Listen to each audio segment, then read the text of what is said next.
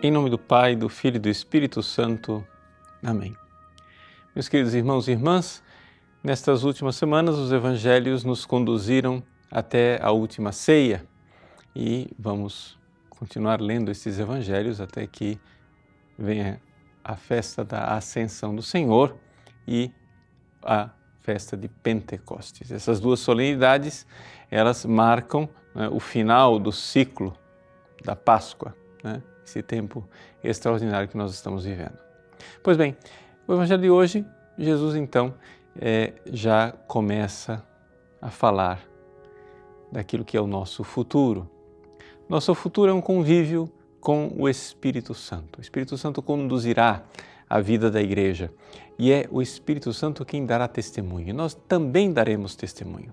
Então é interessante esse duplo testemunho. O Espírito Santo dá testemunho dentro de nós isso nos permite dar testemunho de Jesus fora, quando formos interrogados.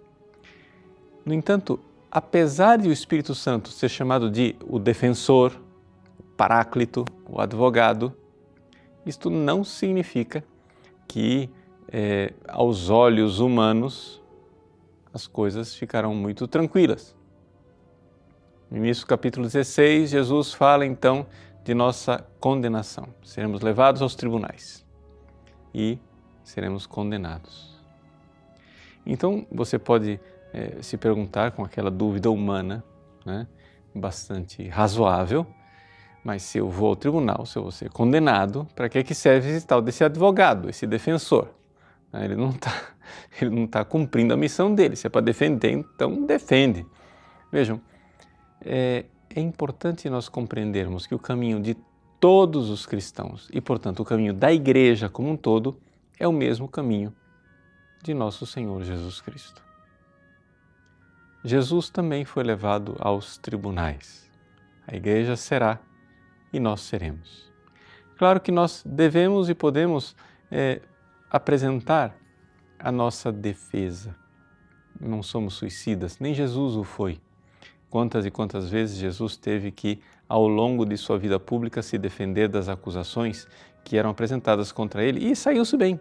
Saiu-se bem em muitíssimas destas causas, muitíssimas destas acusações. Só que chega um ponto em que é, a encruzilhada é, nos coloca diante de uma escolha. E a escolha é ou de nós sermos mártires ou de sermos idólatras. Foi Orígenes quem disse, exatamente num comentário seu ao Evangelho de São João, que diante de uma tentação, diante de uma perseguição que o cristão enfrenta, diante de uma provação, o cristão ou sai mártir ou sai idólatra.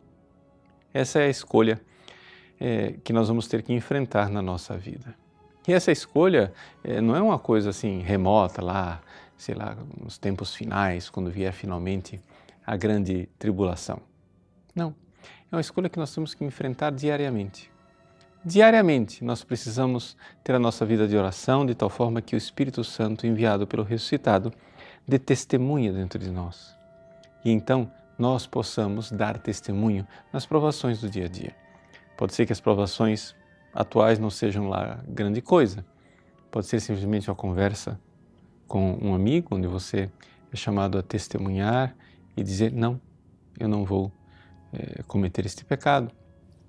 Pode ser é, simplesmente a aprovação de uma tentação, alguém que convida você para o pecado, que convida você a não fazer opções de amor a Jesus, mas fazer a opção da preguiça de amar. Seja como for, se o justo né, peca sete vezes ao dia, ou seja, se o justo é tentado sete vezes ao dia, nós também, todos os dias, precisamos do Espírito Santo que vem em nosso auxílio nas nossas tentações, que não serão somente sete, serão diárias, então escolheremos os pequenos martírios do dia a dia ou as idolatrias que podem nos conduzir à perdição. Eis aí o caminho do cristão, eis aí o caminho de nossa vida com o Espírito Santo. Deus abençoe você. Em nome do Pai, e do Filho e do Espírito Santo. Amém.